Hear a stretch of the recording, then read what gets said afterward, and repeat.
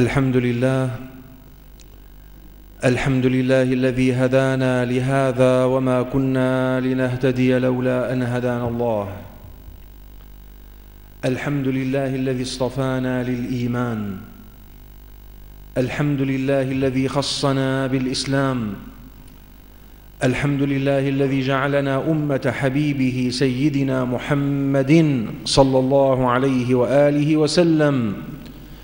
الحمد لله الذي أكرمنا بالقرآن الكريم وجعله كتابا محفوظا ونورا وهدى يهدي من استهدى به إلى سبل الرشاد. وأشهد أن لا إله إلا الله وحده لا شريك له. وأشهد أن سيدنا ونبينا محمدا عبد الله ورسوله خير نبي اجتباه وهدى ورحمة للعالمين أرسله. أرسله بالهدى ودين الحق ليظهره على الدين كله. صلى الله عليه وعلى آله وأصحابه وأزواجه أمهات المؤمنين وذريته ومن اهتدى بهديه إلى يوم الدين. أما بعد أيها الأحبة فكنا قد بدأنا الحديث حول قاعدة من القواعد القرآنية. وحول حديث من أحاديث النبي صلى الله عليه وسلم الأحاديث التي يبين لنا فيها شيئا من زيادة الوضوح والمعاني في فهم آيات القرآن. يحدثنا الله تعالى عن موقف عصيب. يحدثنا الله تعالى عن ساعة شديدة. يحدثنا الله تعالى عن يوم أهواله لا تقاس بغيره. ذلك اليوم الذي يقول الله تعالى عنه فمن زحزح عن النار وأدخل الجنة فقد فاز. وأي يوم يساوي ذلك اليوم؟ وأي شدة تساوي تلك الشدة؟ وأي موقف عصيب شديد ذلك الموقف؟ فمن زحزح عن النار وأدخل الجنة فقد فاز. تخيلوا أيها الأحبة لو أن الإنسان لم يزحزح عن النار. لو أن أعماله ولو أن ما قدم ولو أن ما جاء به ليكون في ميزانه لم يكن كافيا لتلك الحالة الشديدة التي يصفها الله تعالى بهذا الوصف الدقيق البليغ بكلمة واحدة. لما يقول الله تعالى فمن زحزح. وكلما تأملت في كلمة زحزح وكلما أدخلتها للمراجعة في عقلك وكلما أمررتها على قلبك كلما شعرت بأن ذلك الموقف كان موقفا عصيبا. والبلاغة والإعجاز أن الله تعالى عبر عن تلك الشدة وعبر عن ذلك الموقف بكلمة واحدة فمن زحزح عن النار وأدخل الجنة فقد فاز. ثم وقفنا مع حديث سيدنا رسول الله صلى الله عليه وسلم الذي يريد من خلاله أن ينقذنا من ذلك الموقف وهو يخاطبنا صلى الله عليه وسلم فيقول من أحب أن يزحزح عن النار ويدخل الجنة. من أحب أن يزحزح عن النار ويدخل الجنة؟ ولكن تذكروا أيها الأحبة أن هذا المعنى وهذا الفهم لا يمكن أن يكون في القلب فهما صحيحا إلا إذا أراد الإنسان وأعود لأقول إذا أراد الإنسان فكل شيء من أمر الدنيا ومن أمر الآخرة إرادة حقيقية تستقر في قلب وعقل الإنسان. إذا أراد الإنسان أن يفهم فهما حقيقيا هول ذلك الموقف وعندها سيكون كل عمل من أعماله كل كلمة من كلماته ستكون على الوجه الأتم الارضى لأنه يراقب فيها ولأجلها. هل ستكون هذه الكلمة مما يزحزحه عن النار أو مما يقربه إلى النار؟ من أحب أن يزحزح عن النار وأن يدخل الجنة؟ وهذا كلام لابد, لابد أنه يشوق من أدركه الفهم الصحيح أنه يشوق من كان قلبه مليئا بالحب الصحيح لله ولرسوله. من أراد أن يزحزح عن النار ويدخل الجنة؟ قال فلتدركه منيته وهو يؤمن بالله واليوم الآخر. تذكروا أيها الأحبة هذا المعنى فوالله إنه من إعجاز كلام سيدنا رسول الله. عندما يؤكد على معنى من معاني الإيمان على جزئية من جزئيات الإيمان وهي الإيمان باليوم الآخر. لأن الإيمان باليوم الآخر هو الذي يصلح عمل الإنسان. إذا أدرك الإنسان عند كلمة الزور التي يقولها أنه سيقف بين يدي الله ترك كلمة الزور. إذا تذكر الإنسان عند الغيبة والنميمة وعند انتقاص الآخرين أنه سيقف بين يدي الله فتعرض تلك الكلمة وذلك الموقف ويوزن في ميزانه عندها سيترك الغيبة وسيترك النميمة. إذا تذكر وهو يختلس من الدولة وهو يسرق من المال العام وهو يتعدى على أموال الأمة أو وهو يتعدى على مال شريكه أو على مال أخيه أو وهو ينتقص حق أخته أو أخيه من الميراث بدعوى ربما يعينه عليها القانون ولكن الله ودين الله وشريعة الله تعالى لا ترضاها. إذا تذكر في ذلك الموقف إيمانه باليوم الآخر والإيمان ليست كلمات. ليس الإيمان أن تقول آمنت بالله وملائكته وكتبه ورسله واليوم الآخر والقضاء والقدر خيره وشره وإنما الإيمان أن تعيش هذا الإيمان. من أحب أن يزحزح عن النار. فلتدركه منيته وهو يؤمن بالله واليوم الآخر وهنا الشاهد ويأتي إلى الناس ما يحب أن يؤتى إليه. مهما تأملت في هذه الكلمة لن تنتهي بحور معانيها. لن تنتهي بحور معانيها أن تأتي للناس أن تتعامل مع الناس كما تحب أن يتعامل الناس معك. وتعالوا نقف عند بعض جزئيات هذا العنوان الكبير. الإسلام من عظمته أنه قواعد كبرى. يدخل فيها كل شيء. يدخل فيها ما ذكره الله وما لم يذكره لأن الإحاطة بالتفاصيل شيء غير ممكن. في كل لحظة في كل دقيقة هناك جزئية من الجزئيات التي لم يذكرها الله تعالى بتفصيلها في القرآن أو في السنة ولكنها تندرج عند هذه القاعدة. ويأتي إلى الناس يتعامل مع الناس كما يحب أن يؤتى إليه. في جزئية من جزئيات هذه القاعدة يحدثنا الله تعالى عن العلاقة بين الزوجين. عن العلاقة الأسرية. هذه العلاقة التي يفترض وفق النظرية الإسلامية الاجتماعية أن تكون منطلق كل خير.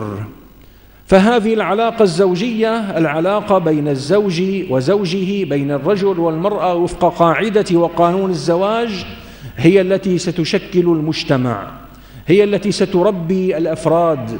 هي التي سوف تنظم فساد وصلاح المجتمع. فإذا وجدت المجتمع مجتمعا صالحا فاعلم يقينا أن الأسرة أسرة صالحة. وإذا وجدت في المجتمع صورة من صور الفساد فاعلم يقينا أن هذا الفساد في أصله يعود إلى الأسرة. الذي الذي يعيش اليوم حياته فسادا وإفسادا لا شك أن الأسرة التي نشأ فيها كانت مقصرة في تربيته. ليس التقصير في التربية فقط التقصير في الوعظ ليس التقصير في التربية فقط التقصير في الكلمات التي يلقيها الأب أو تلقيها الأم للأولاد. فهذا هو أضعف نوع من أنواع التربية. يجمع علماء التربية علماء النفس علماء الاجتماع علماء الدين على أن أضعف وسيلة من وسائل تربية النشء الوعظ الكلمات وإنما أعظم وسيلة من وسائل التربية الحال. أن لا تكون أنت في ذاتك كاذبا أو منافقا أو مغتابا أو مؤذيا. أو مقبلا على انتهاك حرمات الله عز وجل. أن يرى ولدك فيك الأخلاق سلوكا وعندها لا يحتاج منك كلمة واحدة ولا يحتاج منك نظرة واحدة لأنه حتما جبل وفطر فيما خلقه الله تعالى على هذه الحالة من الاقتداء. نعود أيها الأحبة إلى هذه الصورة. صورة جزئية من القاعدة الكبرى التي ذكرها الله تعالى لما قال وليأتي إلى الناس ما يحب أن يؤتى إليه قال الله تعالى أيضا في قاعدة معجزة وهذا من تدبر القرآن الذي أمرنا الله تعالى به قال تعالى عن هذه العلاقة ولهن مثل الذي عليهن بالمعروف تخيل أيها الأحبة بأنك تريد أن تضع أمام زوج وزوجة أمام شاب وشابة يريدون اليوم أن يقبلوا على مشروع الزواج. أو أنك تريد أن تحدث زوج وزوجة دب بينهما الخلاف بعد سنوات من الزواج. تريد أن تحدثهم عن حقوق الزوج والزوجة. وبدأت تتكلم وتتكلم وتمضي الساعات وتمضي الساعات. تذكر لهم مثالا مثالين قصة قصتين تذهب ويضيع من ذهنهم المثال الأول. ومن كثرة التفكير في الجزئيات ينسون المثال الثاني. كل هذه الطريقة أيها الأحبة يختصرها الله تعالى بكلمة واحدة. قانون المعاشرة قانون الحياة المشتركة قانون هذه المؤسسة مؤسسة الزواج مؤسسة البيت هو القانون الذي ذكره الله تعالى في آية وفي كلمات معدودة ولهن مثل الذي عليهن. ما الذي تحبه أنت من زوجتك؟ فلتأتي به إليها. هل تحب أن تسمع منها الكلمة الطيبة؟ إذا ينبغي أن تكون الكلمة الطيبة منك إليها. هل تحب أن ترى منها المنظر الحسن؟ إذا ينبغي أن يكون المنظر الحسن منك إليها. تخيلوا أن ابن عباس رضي الله تعالى عنه ترجمان القرآن في تفسيره لهذه الآية تفسيرا عمليا يقول ابن عباس إني لأحب أن أتجمل لزوجتي كما أحب أن تتجمل لي. إني أحب أن أتجمل لزوجتي كما أحب أن تتجمل لي لأن الله تعالى يقول ولهن مثل الذي عليهن. هل مسموح وهذا للأسف مسموح في كثير من علاقاتنا البيتية هل مسموح للرجل أن يكون على أي مظهر وعلى أي شكل مما يرضي أو لا يرضي؟ على أي رائحة من الطيب أو من الروائح المؤذية؟ وممنوع ذلك على الزوجة أم أن الرجل أيضا يجب أن يتطيب وأن يتنظف وأن يتجمل وأن يذهب عن نفسه الأذى وعن فمه الرائحة المؤذية ثم بعد ذلك يطلب من زوجته أن تكون على مثل هذه الحالة. وكم وكم من حالات الطلاق التي للأسف كثرت اليوم التي للأسف يعيشها مجتمعنا اليوم بكثرة عجيبة بكثرة ما شهدها من قبل. أساسها أيها الأحبة قانون لو جئت به إلى كل أسباب الطلاق والقاضي الشرعي الأول والمحكمة الشرعية قد أصدرت بيانا ذكرت فيه كثرة الطلاق وارتفاع عدد حالات الطلاق وذكرت أهم أسباب الطلاق. لو عدت إلى أسباب الطلاق هذه ستجد أن كل أسباب الطلاق تندرج تحت هذه القاعدة.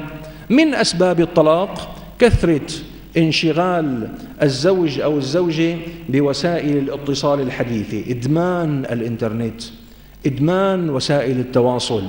الزوج بيده هذه الوسائل ليلا نهارا في كل ساعة في كل لحظة. الزوجة تتواصل عبرها ليلا نهارا. هذه الحالة تعالوا لنضعها في هذا الميزان ولهن مثل الذي عليهن. تعالوا لنضعها في حديث النبي صلى الله عليه وسلم وليأتي إلى الناس ما يحب أن يؤتى إليه. من أسباب الطلاق التي يعيشها مجتمعنا اليوم سوء العلاقة بين الزوج وأهل الزوجة وبين الزوج وأهل الزوج. أيضا لنضع هذا الأمر في ميزان قول الله تعالى ولهن مثل الذي عليهن. كما تحب أن تكون علاقة زوجتك بأهلك علاقة رضية محترمة أيضا يجب أن تكون علاقتك أنت بأهلها علاقة رضية محترمة. كما تحب من زوجتك أن تقدر جهدك وعملك وسعيك في سبيل الرزق وفي سبيل تأمين الحاجات لبيتك ينبغي أن يكون فيك أنت أيضا تقدير لجهدها تقدير لعملها. تقدير لما تبذله وما تعيشه هي أيضا من جهد وجهاد في بيتها ومع أبنائها لتأتي بعد ذلك أنت إلى البيت وتكون ويكون البيت على الحالة المرضية لك. هذا كلام للزوج وللزوجة. ومن ذلك أيها الأحبة من أسباب الطلاق التي يعيشها مجتمعنا اليوم المقارنة. المقارنة. الزوج يعيش دائما حالة من المقارنة يقارن زوجته ببقية النساء. الزوجة تعيش حالة من المقارنة تقارن زوجها ببقية الرجال وهذه مفسدة ما بعدها مفسدة. مفسدة من أهم أسبابها الاختلاط من أهم أسبابها السفور من أهم أسبابها عدم غض البصر وهي كارثة قاتلة مدمرة للبيوت. لأن الإنسان إذا قارن فإنه يقارن زوجته التي يراها على كل حال من العمل ومن الجهد ومن التبذل في بعض الأحيان بما يراه من النساء وهن على أحسن ما يكن عليه من إصلاح أنفسهن وتجميل أنفسهن. كما أنك لا تحب ولا ترضى أن تقارنك زوجتك بغيرك من الرجال وإنها إن فعلت ربما وجدت من هو أكثر منك مالا وأكثر منك جمالا وأحسن منك كلاما. فعليك أيضا أن لا تعيش هذا الوهم وأن لا تعيش هذا الخيال. كلام دقيق وعجيب. وبيان معجز من الله تعالى ولهن مثل الذي عليهن. وأجمل ما فيه وأعظم ما فيه أن الله تعالى جعل هذه الحقوق مرتبطة بتغير الزمان والمكان ولهن مثل الذي عليهن بالمعروف. ما الميزان في هذه الحقوق؟ ما الميزان في هذه الحالة؟ ليس القانون ليس حكم المحكمة وإنما المعروف يعني أداء الحق بالمعروف. المعروف يعني تقييد هذه الحقوق بما يناسب الزمان وما يناسب وما يناسب المكان. وهنا يوجد كلام كثير أيها الأحبة في هذه القضية. فمثلا يأتينا في كثير من الأحيان سؤال وهذا ما للأسف إشاعة العلم وأحاديث الفتوى التي لا تكون متواصلة مع تغير الزمان والمكان تسبب اشكالا كثيرا. كثير من الفتاوى التي تأتينا تلتقط نصا موجودا في كتب الفقهاء القديمة. هل صحيح أنه لا ينبغي ولا يجب على المرأة أن تخدم في بيت زوجها وأنه ينبغي أن يأتيها بخادم؟ كثير من كتب الفقه تقول هذه المسألة تقول الزوجة لا ينبغي أن تخدم في بيت زوجها وأن على الزوج أن يأتيها بخادم. يعني خادمة الخادم في اللغة العربية يعني خادمة. لتقوم بتهيئة شؤون البيت والزوجة مسؤوليتها العناية بأولادها وتلبية حاجات زوجها. أما ما سوى ذلك من شؤون البيت فهذا شأن الخادم. فنقول هذا كلام وإن وجد في كتب الفقهاء ما الدليل عليه؟ هذا كلام مرتبط بزمان مرتبط بمكان مرتبط بحالة اجتماعية. الله تعالى يقول لهن مثل الذي عليهن بالمعروف. ربما هناك من النساء من هن من هذا المستوى الاجتماعي من هذه البيئة. هكذا هو أمر أهلها وهذا هو شأن أهلها وأنت أخذتها لتكون المرأة في بيتك كما هي في بيت أهلها. ولكن هذا ليس قاعدة عامة. ثم كما أن المرأة تلتقط هذه الفتوى ينبغي أن نلحظ مسألة أخرى وهذه تقع بدقة تحت قول الله تعالى ولهن مثل الذي عليهن. كتب الفقه تذكر أيضا وهذا كلام للنساء ولعله يرضي ويسر الرجال كثيرا. كتب الفقه تذكر أيضا أن المطلوب من الرجل تجاه المرأة صاع من بر وصاع من شعير. هذا كفايتها من الغذاء. ليس له أن يقدم غير ذلك من الغذاء وليس عليه أن يداويها ولها ثوب تلبسه في الصيف وثوب تلبسه في الشتاء. وانتهى الأمر. هذا كل ما يطلب منه في كفاية ورزق الزوج للمرأة. طبعا هذا الكلام كلام ما له علاقة بالواقع. هذا كلام مرتبط ببيئة مختلفة. لا ندري كاتب هذه الحاشية في أي قرية كان ليقول أن نفقة الزوج على زوجته صاع من بر وصاع من شعير. لا ندري هذا الرجل في أي مكان كان ليتحدث عن هذا. القاعدة في القرآن الكريم دقيقة جدا ولهن مثل الذي عليهن بالمعروف. إذا الأصل في العلاقة بين الزوج والزوجة قاعدتان. القاعدة الأولى كل حق لها يجب أن تؤديه على أحسن حال من المعروف. كل حق لها يجب أن تؤديه على أحسن حال من المعروف. وكل حق لك يجب أن تأخذه وأن تستوفيه على أحسن حال من المعروف. هذه القاعدة الأولى. القاعدة الثانية لهن مثل الذي عليهن ما تحب أن يؤتى إليك فلتأتي به لزوجتك. ما تحب أن تتعامل به أن تعاملك به زوجتك عليك أن تعامل أنت به أيضا زوجتك. تذكروا أيها الأحبة أن سيدنا رسول الله صلى الله عليه وسلم أن سيدنا رسول الله صلى الله عليه وآله وسلم قال وهو إمام البلغاء الفصحاء. قال وهو الذي أوتي جوامع الكلم. يعني نحن نتكلم نتكلم نتكلم نتكلم وسنختصر إن شاء الله. النبي صلى الله عليه وسلم قالها في كلمة قال خيركم خيركم لأهله. نقطة. انتهى الكلام. لا زيادة على هذه الكلمات لا شرح لهذه الكلمات ولكن نحتاج إلى فهم نحتاج إلى تطبيق. خيركم خيركم لأهله. اجعلها قانون وقاعدة. منذ أن تفتح باب البيت إلى أن تخرج من باب البيت ستنتهي كل المشاكل. إذا جعلتها الزوجة أيضا قانون لها ستنتهي كل المشاكل. خيركم خيركم لأهله ولهن مثل الذي عليهن أن يأتي للناس ما يحب أن يؤتى إليه. جاء أحد الأشخاص في ساعة من ساعات الضجر في ساعة من ساعات الملل جاء يشتكي زوجته إلى قاض أو إلى شيخ من الشيوخ ويقول له زوجتي كذا وزوجتي كذا وتفعل كذا ولا تفعل كذا وأنا أريد أن أطلقها. فقال له هذا الرجل الحكيم قال له هذه الكلمات التي نحتاجها اليوم في تعاملنا مع أهل بيتنا. نحتاجها اليوم ونحن نفهم قيمة هذه العلاقة وقدر هذه العلاقة.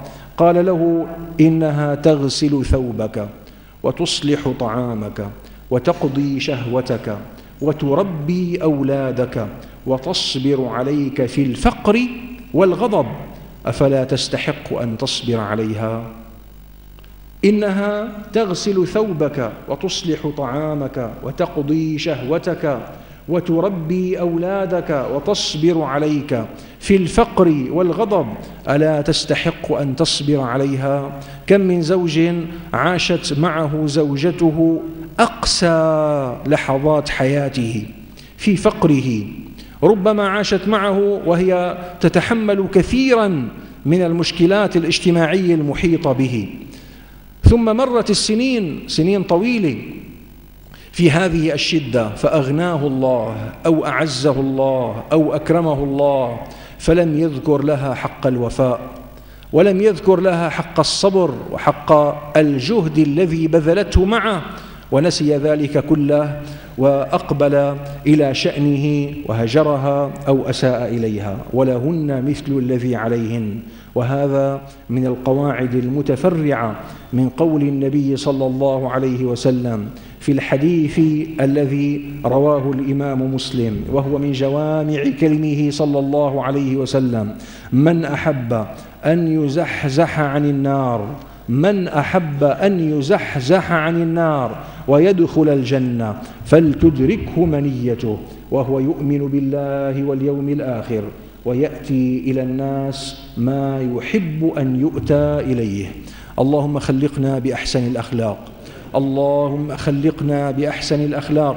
اللهم اجعلنا ممن يزحزح عن النار ويدخل الجنة. اللهم إنا نستغفرك من ذنوبنا نستعيذك من شرور أنفسنا ونسألك يا رب نسألك الهداية والرشد نسألك المعونة على التقوى. أقول قولي هذا واستغفر الله لي ولكم فاستغفروه يغفر لكم. أستغفر الله.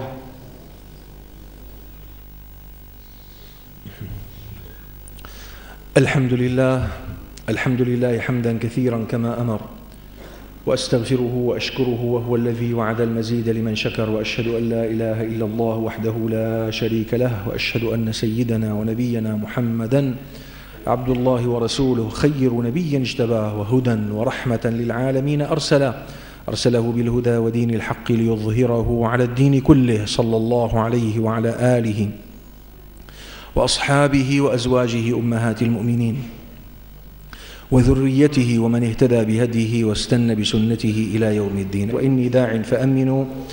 الحمد لله الحمد لله الذي هدانا واصطفانا وجعلنا من عباده المؤمنين. يا ربنا لك الحمد يا ربنا لك الحمد يا ربنا لك الحمد. اللهم أنت أنعمت وأنت أجزلت. لك الحمد يا ربنا على كل نعمة أنعمت بها علينا. لك الحمد على نعمة الإيمان. لك الحمد على نعمة الإسلام. لك الحمد أن جعلتنا من أمة حبيبك سيدنا محمد صلى الله عليه وسلم. اللهم صل على عبدك سيدنا محمد صلاة دائمة كاملة. تجعل نورها ملء الخافقين. اللهم صل على سيدنا محمد صلاة تشرح بها صدورنا. اللهم صل على سيدنا محمد صلاة تنور بها قلوبنا.